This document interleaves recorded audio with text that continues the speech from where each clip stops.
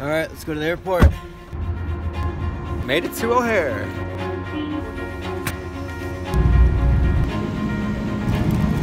Made it to South Korea. I just took a shower and I feel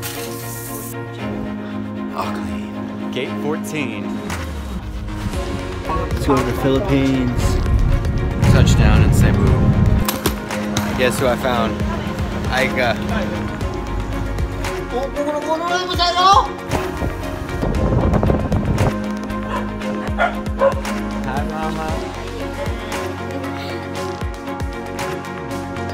need a lawnmower to cut the grass, all you need is a pair of big scissors. Like this.